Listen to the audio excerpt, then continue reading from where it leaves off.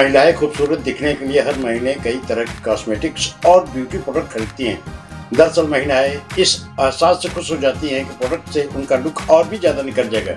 लेकिन शॉपिंग करने के बाद कई बार उन्हें लगता है कि उन्होंने बहुत महँगा सामान खरीद दिया या फिर कोई प्रोडक्ट इस्तेमाल करने पर स्किन में किसी तरह का इन्फेक्शन दिखाई देने लगता है। कई बार ऐसा भी होता है कि फाउंडेशन और लिपस्टिक जैसे प्रोडक्ट दोस्तों को देखा देखी खरीद दिए जाते हैं जो स्किन टोन से बिल्कुल अलग नज़र आते हैं। ऐसी स्थिति में लगता है कि पैसे बर्बाद हो गए। इन उलझनों में पड़ने से बचने के लिए आप कुछ आसान टिप्स अपना सकते हैं। नमस्कार, मैं अनिश अख्तर आप देख रहे हैं Anish Akhtar official.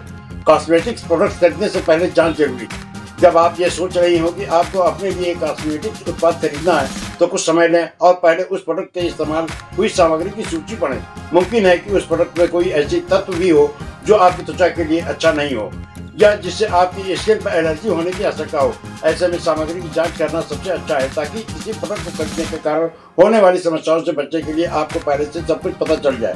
Cosmetic product खरीदने से पहले सुनिश्चित कर लें कि जिस प्रोडक्ट को आप खरीद रही हैं, उसमें शामिल सामग्री आपकी स्किन को सूट करती है, या उनसे किसी तरह की एलर्जी तो नहीं होगी। आपकी स्किन टाइप के अनुसार ये महिला की स्किन टाइप अलग होती है, और उसी के अनुसार प्रोडक्ट खरीदने पर मनचाहा निखार स्किन पर नज़र आता है। कुछ महिलाओं की त्वचा सामान्य होती हैं, कुछ की ड्राई त्वचा हो सकती है और कुछ की ऑयली कुछ महिलाओं की स्किन कॉम्बिनेशन वाली भी होती है, इसलिए किसी भी कॉस्मेटिक उत्पाद को खरीदने से पहले यह देख लें कि वह आपके स्किन टाइप के हिसाब से है। मेल करेगा या नहीं? मसला, अगर आप फाउंडेशन खरीदना चाहती है, आपकी त्वचा तैली है तो आपको ऐसा फाउंडेशन खरीदने पर विचार करना चाहिए जो आपकी त्वचा पर हावी ना हो। स्किन टोन को सूट करने वाले प्रोडक्ट चुनें।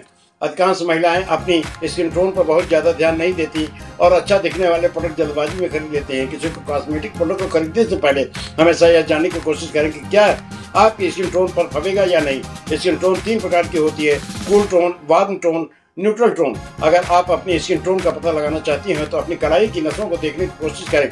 अगर आपकी नसें नीले रंग की हैं तो आपकी स्किन टोन कूल है। अगर आपकी नसें हरे रंग की हैं तो आपकी स्किन टोन वार्म है। और अगर आप नहीं कर सकती तो बताएँ कि क्या आपकी नसें नीली या हरी हैं? तो आप न्यूट्रल त्वचा टोन की श्रेणी में आती हैं? अपनी त्वचा को टोन जानकर आप अपनी त्वचा के लिए बेस्ट कलर चुन सकती हैं। खरीदारी से पहले टेस्टर के ज़रिए परखे प्रोडक्ट हर महिला को स्किन टाइप अलग होती है और उसी के अनुसार प्रोडक्ट खरीदने पर मनचाहा निखार स्किन पर नज़र आता है। कुछ महिलाएँ भी की त्वचा सामान्य हो सकती है कुछ की ड्राई त्वचा हो सकती है कुछ की आयली कुछ महिलाओं की स्किन कॉम्बिनेशन वाली भी होती है। इसलिए किसी भी कॉस्मेटिक उत्पाद को खरीदने से पहले यह देख ले कि वह आपकी स्किन पर टाइप के हिसाब से मेल करेगा या नहीं। मसलन अगर आप फाउंडेशन खरीदना चाहती है आपकी त्वचा को ऐसा फाउंडेशन खरीदने पर विचार करना चाहिए जो आपकी त्वचा पर हावी न हो। खरीदार से पहले टेस्टर के ज़रिए परखे यदि आप कॉस्मेटिक की खरीदारी दुकान से कर रही हैं तो हमेशा यह जांचना सही रहता है कि आपको किस प्रोडक्ट से एलर्जी है या नहीं। काउंटर पर रखे टेस्टर आजमाए या फिर सैंपल मंगाएँ। इससे किसी क्रीम फाउंडेशन पर खर्च करने से पहले आपको उससे मिलने वाले रिज़ल्ट के बारे में पता चलना चाहिए। नमस्कार, मैं हरी सक्तर आप देख रहे हैं हरी सक्तर ऑफिशियल